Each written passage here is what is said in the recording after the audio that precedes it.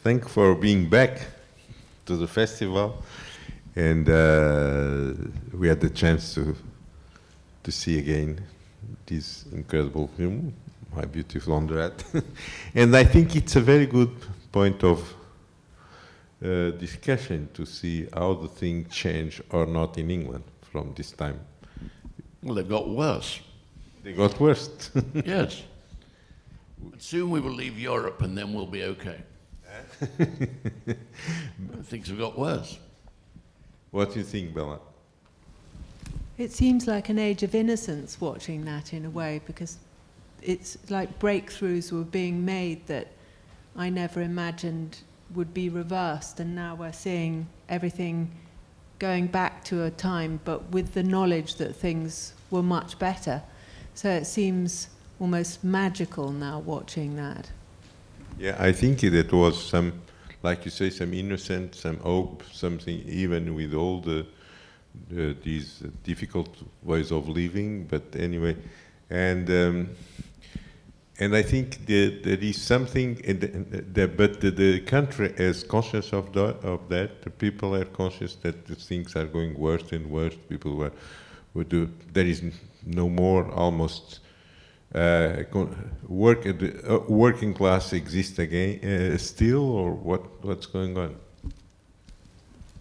Well, it's all changed because of this ridiculous business of leaving the European Union. I mean, it, it, the, the differences have, have, become completely different.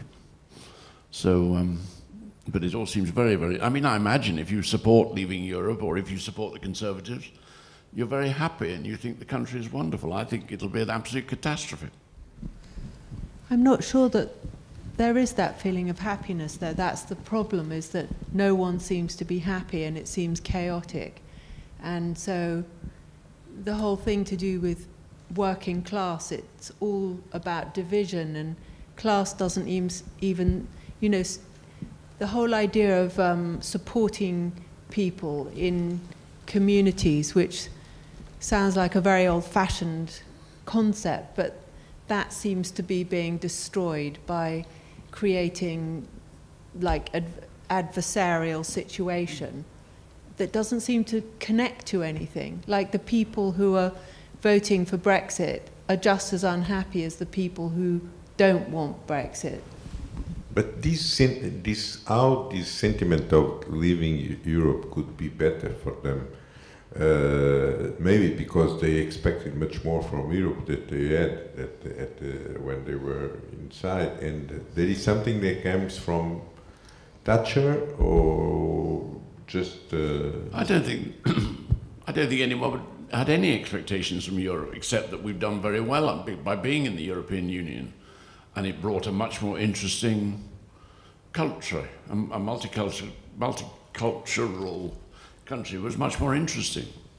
Now they just want to be Americans, I guess. But you know that even in Europe, this this sentiment, this racism, is as well, you know, taking place more and more more strong every day. You know, these uh, something is not only in England, something is happening even interior of Europe. Well, except that the people they want to get rid of are Europeans. They're not Africans or Indians. They're Polish people, or indeed Portuguese people, or Romanians. It's, it's just this peculiar hostility that they think is the source of all their troubles, but of course it isn't. And um, in I'm sorry, we, we, this, this talk, this miserable country. No, no, just to know, just to have an idea, you know, how the, because sometimes we in Europe, you know, uh, we don't understand very well uh, why it's so you know, the, the country so in a, in a kind of so divided, so uh, we don't understand anything what's going on, you know, because from one, the, uh, apart the Conservative Party, on the rest, you know, the Labour is divided in two, you know, the Scottish wants to stay, the other ones, uh, you know, uh, they want, there is a kind of, uh, we feel that nobody really understands what's going on. I, don't think, I don't think anybody does. I mean, I don't think Boris Johnson does. Nobody does, because part of it is a sort of imperial nostalgia. They, you know, they want the country that they lived in during the war. Well, it was terrible. I was alive then. It was, you know, you wouldn't want to live like that anymore. But that's what they talk about the whole time, going back to the, the way it was during the war. If they could bring Churchill back to life, that's what they would do.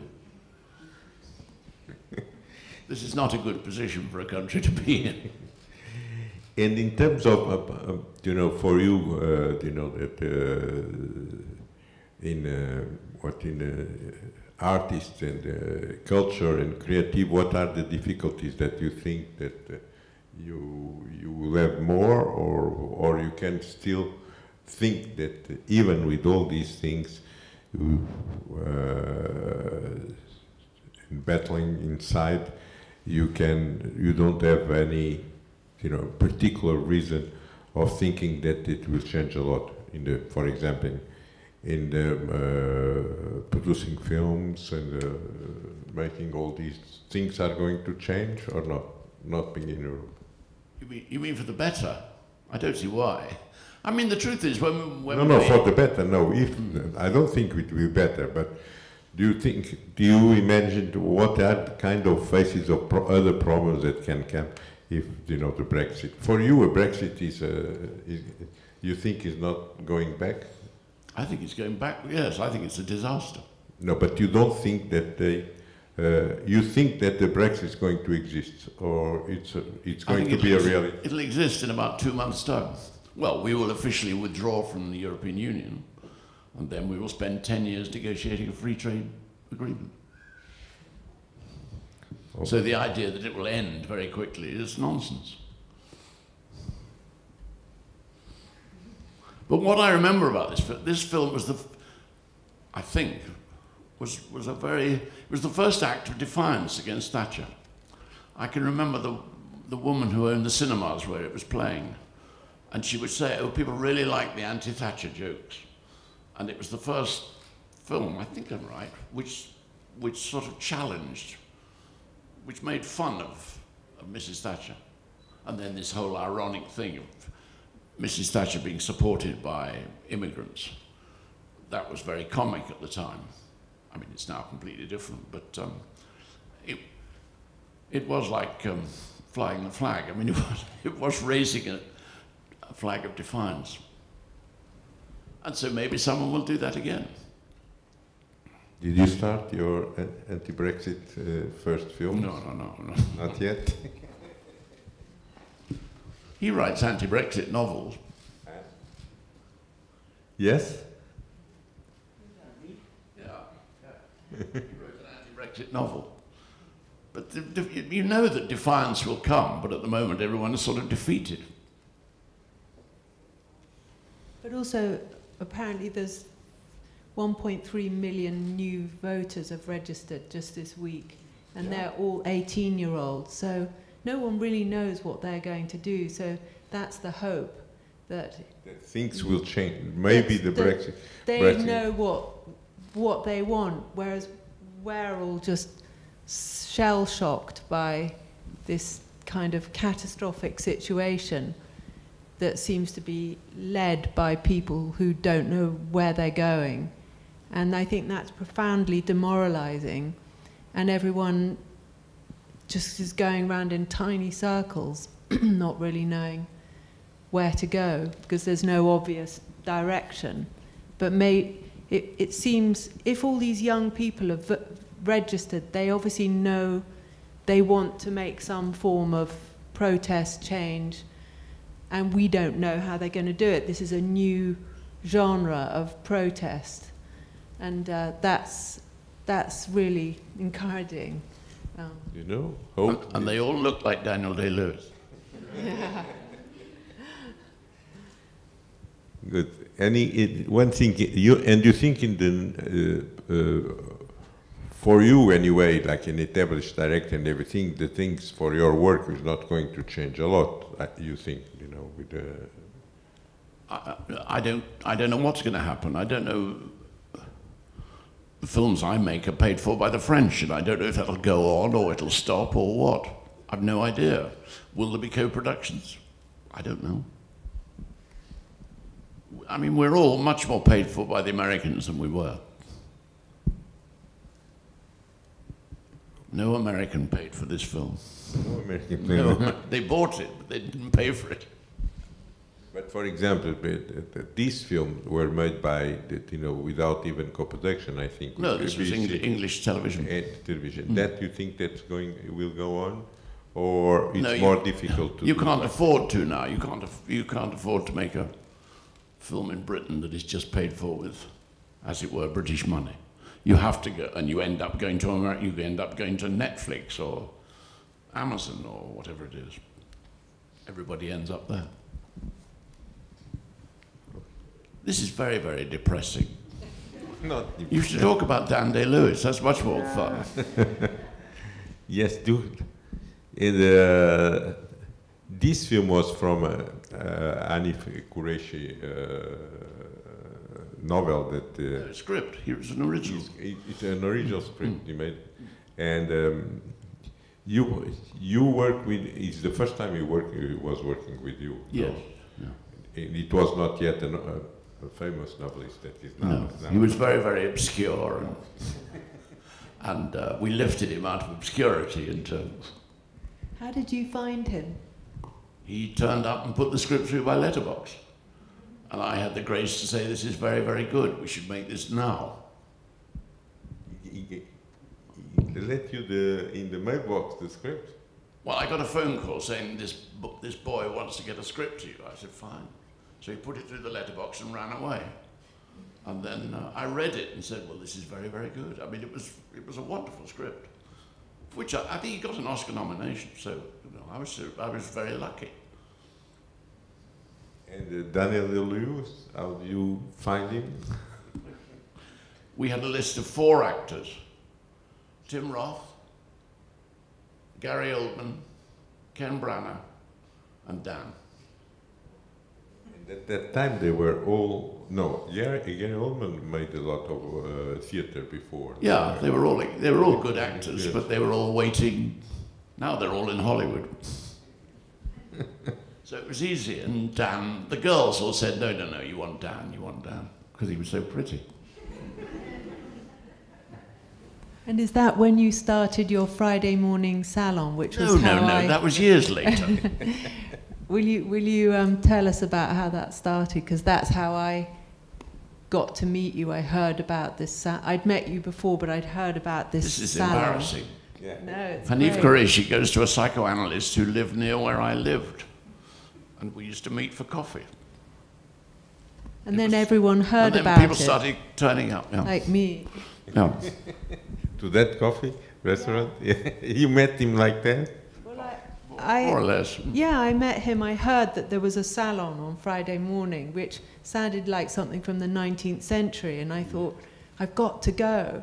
So I found out where it was and pretended I just walked in, and then I came every Friday for for many years and um, listened to the conversation. And uh, you know, if anything can, I think, get people through difficult time, time is listening to exchange of, of ideas, however kind of old-fashioned that sounds. I found that very um, interesting, and I learnt a lot, and um, and it was very funny. And they had this brilliant conversation, and um, As you see. it was. Uh, Anyway, Daniel never, Dan, Dan Day Lewis never came. But members of the Pink Floyd come, so it's very, very chic. And you, now you have to restart when the Brexit arrives. You know, you have to do the, these things. Oh, we'll just go on. We're so conservative, we wouldn't, we wouldn't know what else to do. It's shocking. It was 30 years ago, this film. And it was, you know, now what what I felt that in that, that in at that moment we could be, uh, the films could exist fast. Now you have to wait. A, even you, I think, you have to wait a little bit to, before when you have a, a, an idea, project, and to shoot and everything. This film, when you decided to do it, it was very fast afterwards. No. Yeah, but that was just to do with that the money fell into place. And actually, if you, if this film was, I was much older than anybody else, but there were a lot of young people who then became very successful, like Dan. So everything was waiting And then this film came along, and that was the one that released a lot of energy. And you think in England it's possible as well, even for young people, to have this kind of. Uh, well, you can't tell because it's, it's waiting to happen. I mean, it, it happened in Nouvelle Vague in France. It happens every, all over the place. But um, this is just what happened in England. Now? But it requires some young person to have something. I mean, Hanif, it was about his childhood, really. He was at school and he had a friend, a white friend, and one day he came in with his head shaved and had become a skinhead. And then there was a. Um, somebody got killed. I remember there were demonstrations against the police. It was a very political time. And now again it's a political time. But somebody will have a good idea because that's what always happens. Maybe your son. Your son, yeah. Mm. My son, yes. It's a, it's a great difference, you know. I see how he believes still a lot in things. He, can, he think he can change things. He's working all day and everything. That's now they die. They our time is to see them. yeah. If you look at your, at, at your whole career uh, and, and you single out this film, you know what, what, what, what does it mean to you? You do, you do, this film changed the lives, changed my life, changed Dan's life, changed the producer's life, changed Hanif's life. It just changed all our lives. Nobody had, nobody had ever made a television film that became an international success. It was just phenomenal. Um, and it, it was a time, we made it in such innocence. And then suddenly it was playing in Paris and Barcelona and the other side of the world in America. So it changed everything. So it's very hard to think beyond that. It also, in my case, sort of politicized me and taught me an enormous amount. So it makes me feel very, very old. did, did it change anything in Britain? Did it change people's minds? The film has changed anything in Britain? Well, five years later, we got rid of Thatcher. but it took five years. I, I don't know. I've no idea. I've no idea. But it, the truth is that nobody knew about the Pakistani middle class. That was, and so people became better informed about their own country. And I could see that it was the white working class kids who somehow they had it worse than anybody. And they all grew up to, to vote for Brexit. So you, you, you, know, you can see everything in there. But it was also the, the, the, the, the Pakistanis were really the end of the empire. Now it's the imperial connection has sort of gone. And um, immigrants now aren't, aren't um, relics of the empire. Uh, because a friend of mine who was uh, living in Britain, she's uh, Portuguese and she went to work there. She tells me that uh, people are against immigrants. Uh, so the British people are against immigrants, and she understands, she realized that it has to do with their uh, attitude um, to Brexit. So they, would, uh, they think that open frontiers allows people to come in in great numbers to Britain. They are mostly against Polish uh, immigrants. So I wonder if. Uh, I, I have a house at the moment that is being renovated by Polish workers who are wonderful. The truth is that, the, particularly the builders from Poland, are much better than the British ones, or plumbers, or whatever it is. So it's sort of jealousy and rage that the Europeans come in and take the jobs that British people would like, or the British people were too. You know, the National Health Service is staffed with people from other countries because, the, because British people wouldn't clean up and wouldn't do the work. Britain has done so well out of immigrants. I mean, our prosperity comes from there. You know, our workforce was very limited. People were brought in from Jamaica to drive buses because nobody in Britain would drive buses. So it's an absolutely ridiculous argument. You know, we should be on our knees with gratitude to immigrants. I think it's just, you know, they are is this kind of fears are so irrational. They are uh, completely not understandable. You know, I had the chance of living in uh, in uh, London when I was 21 for two years, and that was, you know, I can get jobs. I didn't. I, I didn't have any papers. I couldn't get. I could get jobs, small jobs all the time. I could live my, you know, adolescence there without anything. If you see the about the Polish uh, workers, you have to see Moonlighting of Jerzy Skolimowski. It's a film about uh, yes, and the, and all this. You know, there is there was what you think. Uh, everybody knew that they need the other one. Now I think they think because they are living in the poorest way that in the, in the past, that the fault is the other ones. But the, the problem is they they live really poor, but not not in in England. All over the world, the social differences are better.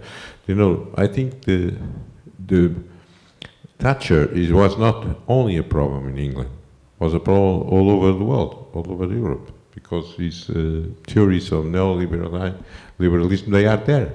You see what's going on in Europe in this same. And um, that's why, but Europe don't let us do more stupid things. That's the, the only advantage, you know, and I think, uh, and it's completely ridiculous that, you know, uh, now uh, to see someone thinking that going out is making better that if they stay and solve their problems together. It's ridiculous. It's, So we need your sympathy.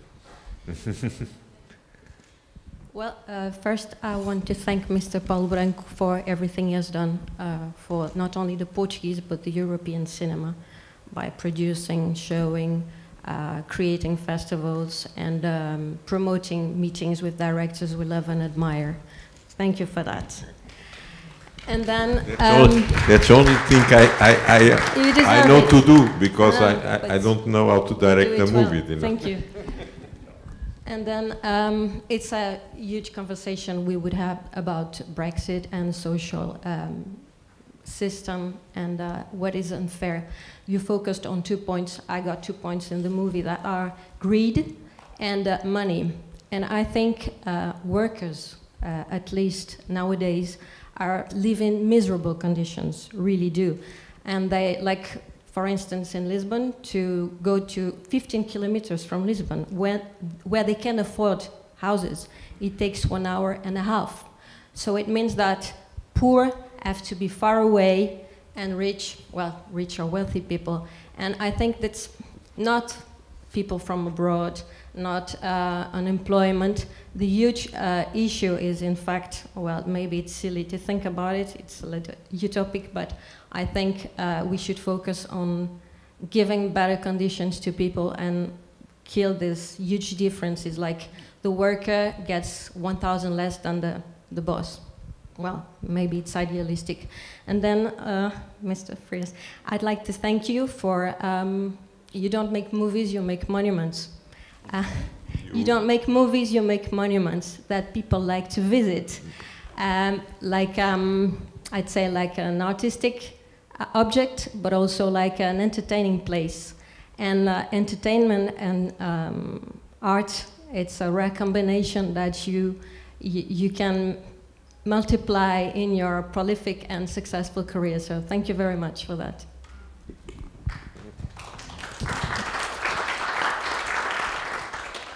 Thank you for for this event and for this classic. Uh, the, uh, is, uh, in in these days in the 80s when there was no the, when the hate was not coming through the internet maybe by mail. Uh, since you mentioned Thatcher uh, uh, by her name and everything, what kind of like uh, 80s classic hater style? Uh, I don't know, maybe right wing people, uh, supporters uh, have. have did, did you get any any hate response in the day? And do you think if you would made make something like this today, you would get like loads of haters, not only our granny haters, but Steve Bannon's bots and whatnot? Uh, the, what, what did you get at the time, and do you think it would be even harsher if you made a direct reference to a person like Boris Johnson, for example, these days? I think you will write a, a Twitter. yeah. You will write you a Twitter, Yeah. Boris Johnson. Boris. Yeah, Did you get a lot of hate mail, like hate mail or No, something it in the day? It wasn't like that in those days. Well, there was no internet, so there was no anonymous correspondence. Of course, but uh, in the media that were available, did you get a lot of uh, Wild ne- negative enthu- responses? No. Wild enthusiasm. Great. Thank you. they were I all don't in the remember. closets. I don't remember any. I don't remember being criticised. Okay. These days it would be different, right? Maybe. I imagine, yes. I mean, now you say it, but I'm very, very old, and I don't follow Twitter. Lucky you. Thank you. Yes. I don't follow it. considering that uh, UK is a democratic country, and considering that Thatcher was so bad, why she won elections for 15 years, and considering that Brexit for sure is also uh, so bad, why it has so many supporters?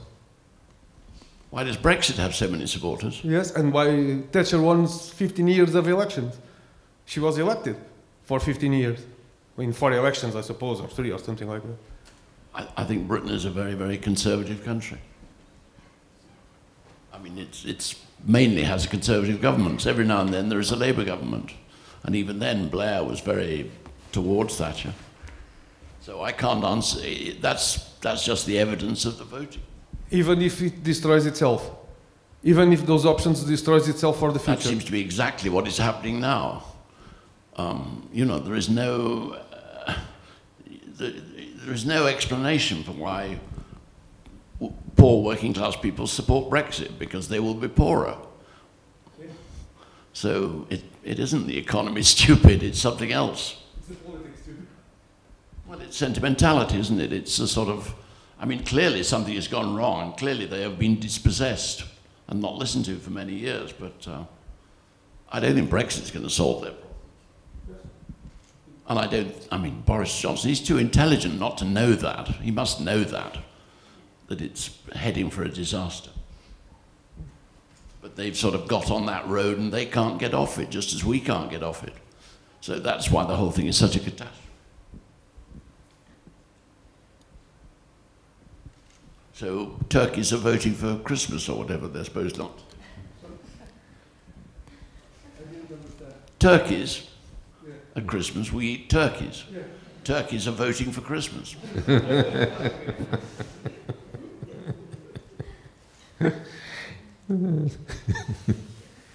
it is daft. And, make, and the more, you know, because there's an election going at the moment, the more, the worse things Boris Johnson says, the more popular he becomes. I have no idea why. Probably people are confusing politics with show, with show business. Yes. And they, the Labour leader they don't like. He's very unpopular. So if Tony Blair came back, he would be voted in. He, people would love it if Tony Blair reappeared. Except you. Well, I would be very un- confused. Okay. Any any other questions? Let's just hope that uh, this period will uh, turn into a film by the sun. Listen, I don't want to make a film about Brexit. It, you go Ma- crazy. Maybe maybe about Maybe in 10 years' time. Maybe about Boris Johnson. You make a film No, once. no, no, no, no, no, too sad. Maybe in 10, years, in 10 years' time. Ten years. Good. Okay. You what you are finishing now? You are finishing a film. What? You are finishing a film, a TV I now make these mini-series. Yeah. I'm finishing a mini-series about um, the man who is alleged to have cheated on Who Wants to Be a Millionaire. You have that in Uh, Portugal? what? Who Wants to Be a Millionaire? You have that here? Yeah. Don't tell me it was popular. So a man cheated on it and apparently won a million, but he never got the money. So I'm making fun about that. and we learn how to cheat it and get the money or not? I don't know if he's guilty or innocent. I haven't a clue, but it was a very good story. Huh? Uh, I don't know. Let me go all the way back to Gumshoe. And what? Why did you have such a you know such a break between Gumshoe and correct me if I'm wrong, The Hit? Like between movies, why did you take such a long break from from cinema? Because I was learning how to make films. Thank you. And so I was largely, I mean, I was entirely working in television. The films I was asked to make were silly, I mean, ridiculous. But in television, I started doing good work, and I, become one, I became one of the people who did the good films in television. So it was a very, very good education. And you know, we were all, I mean, Ken Loach was doing it, and Mike Leigh was, so we were all doing films in television and learning our jobs. And when you look at Gumshoe right now, what do you see? You Oh, I think it's rather prophetic. I don't think I've changed for a minute. Gumshoe was a brilliant script written by a friend of mine and um, very funny and very. Um, it was like a sort of portrait of himself. I think it's a terrific film. I was really pleased when I saw it. Do we still uh, accept someone that wants to, that you don't know, or everywhere, or anywhere, propose you a script and to read it, to lose time reading, or not losing time? I depend entirely on scripts being brought to me. So why would I say no to anybody? You read a lot of scripts. I read a lot of scripts, but I'm, an, I'm entirely passive. I sit at home by my letterbox and scripts come through. Yeah. No other way. And um, And there is other uh, films that started like that, scripts that you get, got from a known. Dangerous people. Liaisons, It was like this as well. yeah, yeah, came through the letterbox. The Queen, well, The Queen was a, there'd been a previous film about Tony Blair, came through the letterbox. They all come through. I mean, I don't know any other way. In other words, I, I don't develop, I don't walk around with films in my head or with books I want to turn into films. even something like Hero, for example. Came through the letterbox. I'm, what? Philomena? Yep. Yep. Absolutely. And then I go to work and then they change and develop, but basically they sent me half the script. Good evening, Mr. Frears. By the way, thank you for Philomena. My mother's Alzheimer's, and one of the last film that I saw with her when she was in when she was fine was that movie. She liked it a lot. I remember. Philomena. Yes. Well, she was probably Catholic, your mother. She is, yes, right. of course she is. Uh, uh, Mr. Frears, uh, last week I, was, I saw a movie which is one out of three of the final selection movies uh, that, uh, that goes to an award by the European Union, which awards three, uh, one film each year. Uh, the three films, uh, I saw the one from Spain, which is about some corruption plot within a party.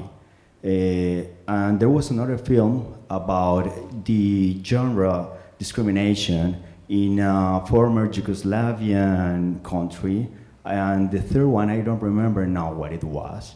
But the thing is that I was thinking that maybe, and that's what I wanted to ask you, uh, if do you think that uh, European cinema is in depth or uh, of showing and releasing more films uh, pretty much directed to these phenomena of these years of segregational um, mm, areas with the countries, as say Catalonia, uh, many other places in, in Europe, uh, a little bit uh, also the Brexit, the Brexit stuff, that uh, are European cinema needing to release more widespread, more visceral stuff about these phenomena of segregation?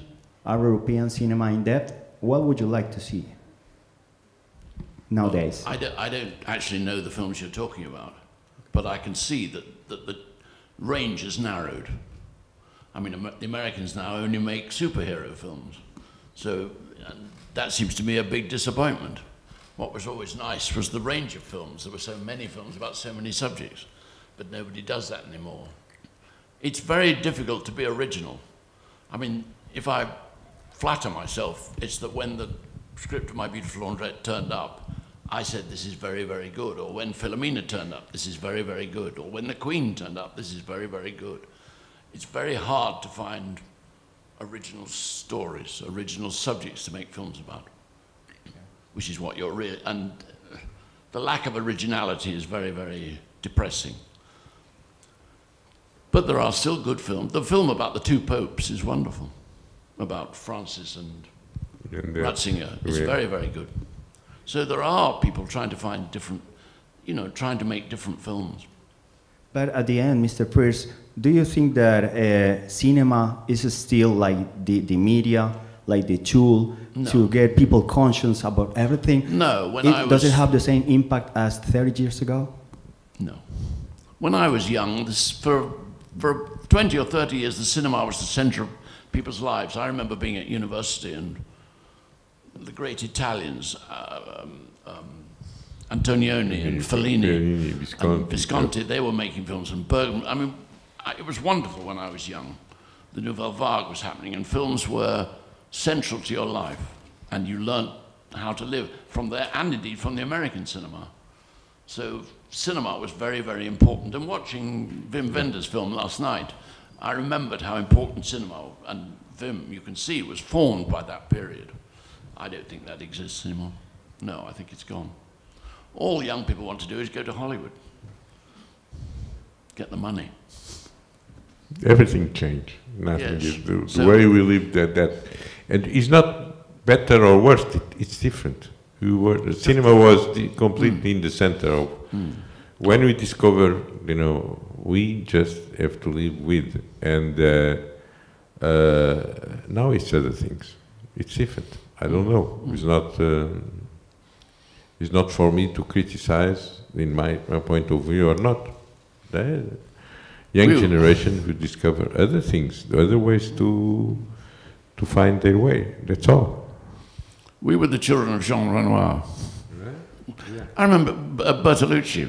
We were the children of Jean Renoir, and Yeah. now that's all gone. Nobody knows who Jean Renoir was.